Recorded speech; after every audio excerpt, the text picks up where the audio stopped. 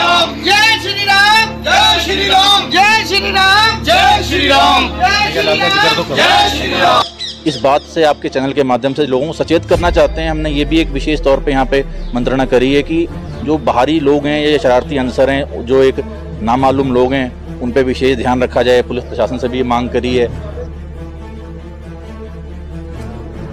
ਜਿਹੜੇ ਲੋਕ ਸਾਡੇ ਹਿੰਦੂ ਧਰਮ ਦੇ ਖਿਲਾਫ ਬੋਲ ਰਹੇ ਜਾਂ ਹਿੰਦੂ ਧਰਮ ਦੇ ਲੋਕ ਕਿਸੇ ਖਿਲਾਫ ਬੋਲ ਰਹੇ ਜੋ ਸ਼ਰਾਰਤੀ ਅੰਸ਼ਰ ਹੈ ਇਹ ਸਾਡਾ ਰੋਸ ਮਾਰਚ ਉਹਨਾਂ ਦੇ ਖਿਲਾਫ ਹੈ।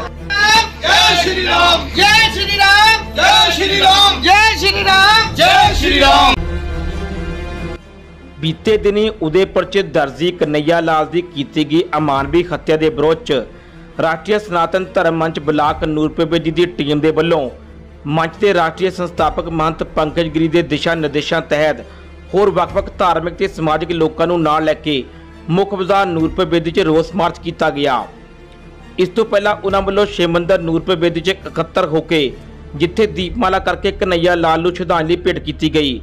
ਉੱਥੇ ਹੀ ਸੰਬੋਧਨ ਕਰਦਿਆਂ ਵੱਖ-ਵੱਖ ਪੁਲਾਰਿਆਂ ਨੇ ਕਿਹਾ ਕਿ ਭਾਰਤ ਦੇਸ਼ ਇੱਕ ਸੈਕੂਲਰ ਦੇਸ਼ ਹੈ, ਜਿੱਥੇ ਕਿ ਹਰ ਧਰਮ ਤੇ ਜਾਤੀ ਦੇ ਲੋਕ ਰਹਿੰਦੇ ਹਨ। ਤੇ ਖਾਸ ਤੌਰ ਤੇ ਸਨਾਤਨ ਧਰਮ ਇੱਕ ਅਜਿਹਾ ਧਰਮ ਹੈ ਜੋ ਕਿ ਹਰੇਕ ਧਰਮਾਂ ਤੇ ਵਰਗਾਂ ਦਾ ਸਤਿਕਾਰ ਕਰਦਾ ਹੈ।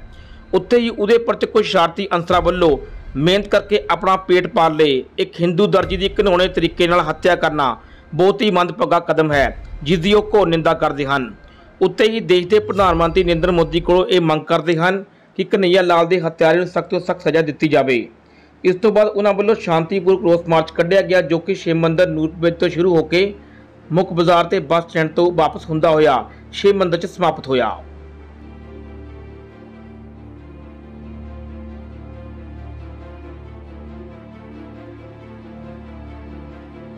ਮੰਚ ਵੱਲੋਂ ਅੱਜ ਤੁਸੀਂ ਕਾਰਜਕ੍ਰਮ ਆਯੋਜਿਤ ਕੀਤਾ ਗਿਆ ਉਹਦੇ ਉੱਪਰ ਤੇ ਮਸਲੇ ਸੰਬੰਧੀ ਕੀ ਕਹਿਣਾ ਚਾਹੋਗੇ जी सबसे पहले तो मैं आपका मीडिया का आपके चैनल का धन्यवाद करता हूँ साधुवाद करता हूँ कि आपने हमारी बात को अपने चैनल के माध्यम से पब्लिक तक पहुँचाया है देखिए उदयपुर में जो ये मंदभागी और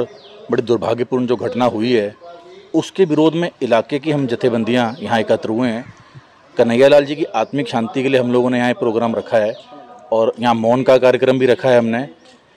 हम यहाँ विशेष तौर पे किसी भी पार्टी, व्यक्तिगत जाति, वर्ण आदि से ऊपर उठ करके हमने ये कार्यक्रम रखा है और हमारी प्रशासन से भी मांग है, सरकार से भी मांग है कि सख्त से सख्त सज़ा उन लोगों को, दोषियों को दी जाए, जो कि एक बेगुनाह व्यक्ति जिससे कि बाई मिस्टेक गलती से एक पोस्ट सांझी हो गई और उसके लिए इतना बड़ा तशद का काम किया गया, कत्ल किया गया उनका, उनकी आत्मिक शांति के लिए हम लोग यहाँ एकत्र हुए हैं। और यहाँ तमाम जो हमारे प्रवक्ता हैं, बुला रहे हैं, उन लोगों ने अपने अपने विचार साझे किए हैं। यहाँ से हमने एक कैंडल मार्च का प्रोग्राम भी रखा है। और हम इस बात से आपके चैनल के माध्यम से लोगों को सचेत करना चाहते हैं। हमने ये भी एक विशेष तौर पे यहाँ पे मंत्रणा करी है कि जो बाहरी लोग हैं या शरारती अंसर हैं, जो एक नामालूम लोग हैं उन पर विशेष ध्यान रखा जाए, पुलिस प्रशासन से भी ये मांग करी है कि उनका विशेष तौर पर वेरिफिकेशन किया जाए। और फिर मैं कहता हूँ कि इस बार का मसला जो है, इसको अरब कंट्रीज़ ने भी और श्री ओवैसी जी ने भी इस बात की विरोध किया है। असदुद्दीन ओवैसी जो हैं, हालाँकि एक समाज के वो मसीहा माने जाते हैं, उन्होंने भी ये बात कही है कि हमारे समाज में इस बात की कोई जगह नहीं है, क्योंकि ये जमहूरियत है, डेमोक्रेटिक देश है और यहाँ कानून से बढ़कर कुछ नहीं है। इस प्रकार की घटना की वो मजम्मत करते हैं, उन्होंने विरोध किया है तो यही हमारा प्रोग्राम था। इसीलिए हमने यहाँ पे शा- ਰੱਖਿਆ ਹੋਇਆ ਜਾਂ ਤੁਸੀਂ ਕੀ ਕਹਿਣਾ ਚਾਹੋਗੇ ਇਸ ਬਾਰੇ ਜੋ ਉਹਦੇ ਉੱਪਰ ਕਾਂਡ ਹੋਇਆ ਇੱਕ ਬੜੀ ਅਹ, ਨਿਰਮਮ ਘਟਿਆ ਅਹ, ਘਟਨਾ ਹੋਈ ਹੈ ਕੀ ਕਹਿਣਾ ਚਾਹੋਗੇ ਦੇਖੋ ਜੀ ਸਭ ਤੋਂ ਪਹਿਲਾਂ ਤਾਂ ਮੈਂ ਇਸ ਘਟਨਾ ਦੀ ਬਹੁਤ ਤੜੀ ਘੋਰ ਨਿੰਦਾ ਕਰਦਾ ਹਾਂ ਠੀਕ ਹੈ ਕਿਉਂਕਿ ਇਦਾਂ ਦਾ ਵਾਕਿਆ ਹਿੰਦੁਸਤਾਨ ਦੇ ਵਿੱਚ ਤਾਂ ਨਹੀਂ ਹੋਣਾ ਚਾਹੀਦਾ ਕਿਉਂਕਿ ਸਾਡਾ ਜਿਹੜਾ ਹਿੰਦੁਸਤਾਨ ਹੈ ਉਹ ਕਾਨੂੰਨੀ ਮੁਲਕ ਹੈ ਇੱਕ ਇਹਦੇ ਵਿੱਚ ਕਾਨੂੰਨ ਦੀ ਪ੍ਰਕਿਰਿਆ ਚੱਲਦੀ ਹੋਈ ਆ ਸੁਪਰੀਮ ਕੋਰਟ ਹੈ ਹਾਈ ਕੋਰਟ ਹੈ ਜੇ ਕਿਸੇ ਨੂੰ ਕਿਸੇ ਤਰ੍ਹਾਂ ਦੀ ਕੋਈ ਦਿੱਕਤ ਆਂਦੀ ਆ ਜਾਂ ਕਿਸੇ ਤੋਂ ਕੋਈ ਪ੍ਰੋਬਲਮ ਹੈਗੀ ਆ ਤਾਂ ਉਹ ਬੰਦਾ ਹਾਈ ਕੋਰਟ ਜਾਂ ਸੁਪਰੀਮ ਕੋਰਟ ਦੇ ਵਿੱਚ ਜਾ ਕੇ ਆਪਣਾ ਉਹਦਾ ਫੈਸਲਾ ਲੈ ਸਕਦਾ ਹੈ ਸੋ ਲਗਾਤਾਰ ਇਹ ਜਿਹੀਆਂ ਘਟਨਾਵਾਂ ਜੋ ਲਗਾਤਾਰ ਤੇ ਵਾਪਰ ਰਹੀਆਂ ਨੇ ਅਹ, ਅਸੀਂ ਗੱਲ ਕਰ ਖਾਸ ਤੌਰ ਤੇ ਹਿੰਦੂਆਂ ਦੇ ਉੱਪਰ ਹਮ- ਹਮਲੇ ਹੋ ਰਹੇ ਲਗਾਤਾਰ ਜੀ। ਉਹਦੇ ਬਾਰੇ ਕੀ ਤੁਹਾਡੀ رائے ਹੈ ਜੀ ਦੇਖੋ ਜੀ ਇਹਦਾ ਸਭ ਤੋਂ ਮੇਨ ਕਾਰਨ ਹੈ ਸਾਡੇ ਹਿੰਦੂਆਂ ਦਾ ਇਕੱਤਰਿਤ ਨਾ ਹੋਣਾ ਸਭ ਤੋਂ ਵੱਡੀ ਗੱਲ ਇਹੀ ਹੈ ਕਿਉਂਕਿ ਸਾਡੇ ਜਿਹੜੇ ਲੋਕ ਹੈ ਨਾ ਜ਼ਿਆਦਾ ਕਰਕੇ ਸੈਕੂਲਰ ਬਣ ਕੇ ਰਹਿੰਦੇ ਹੋਏ ਆ। ਤੇ ਸੈਕੂਲਰ ਠੀਕ ਹੈ ਸੈਕੂਲਰ ਬਣ ਕੇ ਰਹੋ ਆਪਾਂ ਇਹ ਨਹੀਂ ਕਿ ਸੈਕੂਲਰ ਬਣ ਕੇ ਨਾ ਰਹੋ ਲੇਕਿਨ ਆਪਣੇ ਧਰਮ ਦੇ ਲਈ ਘੱਟੋ ਘੱਟ ਖੜੇ ਹੋਣਾ ਸਿੱਖੋ। ਜੇ ਆਪਾਂ ਆਪਣੇ ਧਰਮ ਦੇ ਲਈ ਨਹੀਂ ਖੜੇ ਹੋ ਸਕਦੇ ਤਾਂ ਕਿਸੇ ਲਈ ਖੜੇ ਨਹੀਂ ਹੋ ਸਕਦੇ। ਜੋ ਉਹਦੇ ਉੱਪਰ ਦਾ ਕਾਂਡ ਤੇ ਸਮਝੋ ਤੁਹਾਡੇ ਵੱਲੋਂ ਇੱਕ ਮਾਰਚ ਕੀਤਾ ਸ਼ਾਂਤੀਪੂਰਨ ਕਰ ਰਹੇ ਹੋ ਕੈਂਡਲ ਮਾਰਚ ਕਰ ਰਹੇ ਹੋ ਕੀ ਕਹਿਣਾ ਚਾਹੋਗੇ? ਅਸੀਂ ਪਿੰਡ ਦੇ ਵਿੱਚ ਪੂਰੇ ਸ਼ਾਂਤੀਪੂਰਵਕ ਜਿਹੜਾ ਮਾਰਚ ਕਰਨਾ ਚਾਹੁੰਦੇ ਅਸੀਂ ਸਾਰੀਆਂ ਕਮਿਊਨਿਟੀਆਂ ਦੇ ਨਾਲ ਹੈ। ਅਸੀਂ ਕਿਸੇ ਵੀ ਕਮਿਊਨਿਟੀ ਦਾ ਜਿਹੜਾ ਵਿਰੋਧ ਨਹੀਂ ਕਰ ਰਹੇ, ਪਰ ਜਿਹੜੇ ਲੋਕ ਸਾਡੇ ਹਿੰਦੂ ਧਰਮ ਦੇ ਖਿਲਾਫ ਬੋਲ ਰਹੇ, ਜਾਂ ਹਿੰਦੂ ਧਰਮ ਦੇ ਲੋਕ ਕਿਸੇ ਖਿਲਾਫ ਬੋਲ ਰਹੇ, ਜੋ ਸ਼ਰਾਰਤੀ ਅੰਸ਼ਰ ਹੈ, ਇਹ ਸਾਡਾ ਰੋਸ ਮਾਰਚ ਉਹਨਾਂ ਦੇ ਖਿਲਾਫ ਹੈ। ਇੱਕ ਗਰੀਬ ਬੰਦਾ ਜੋ ਦਰਜੀ ਦਾ ਕੰਮ ਕਰਦਾ, ਉਹਨੂੰ ਦਿਨ ਦਿਹਾੜੇ ਉਹਦਾ ਕਤਲ ਕਰ ਦਿੱਤਾ ਜਾਂਦਾ। ਜੋ ਇੱਕ ਬਹੁਤ ਹੀ ਜ਼ਿਆਦਾ ਨਿੰਦਨੀਆ ਹੈ, ਅਸੀਂ ਉਸ ਚੀਜ਼ ਦਾ ਵਿਰੋਧ ਕਰਦੇ ਅਸੀਂ ਇਨਸਾਨੀਅਤ ਦੇ ਨਾਤੇ ਉਹਦੇ ਭਾਈ ਕਨਈਆ ਜੀ ਦੇ ਨਾਲ ਹੈ ਕਿਉਂਕਿ ਸਾਡਾ ਧਰਮ ਹੈ ਜਿਹੜਾ ਸਾਰਿਆਂ ਨੂੰ ਬਰਾਬਰ ਗਿਣਦਾ ਅਸੀਂ ਸਾਰਿਆਂ ਨੂੰ ਬਰਾਬਰ ਗਿਣਦੇ ਅੱਜ ਇਸ ਕਾਰਜਕ੍ਰਮ ਦੇ ਉੱਤੇ ਗਿਆ ਜੋ ਉਦੇਪੁਰ ਵਿੱਚ ਘਿਨੌਣਾ ਕਾਂਡ ਹੋਇਆ ਹੈ ਕਹਿਣਾ ਸਾਹਿਬ, ਜੋ ਵੀ ਕਾਂਡ ਹੋਇਆ ਹੈ, ਇਹ ਬਹੁਤ ਹੀ ਮਾੜਾ ਹੋਇਆ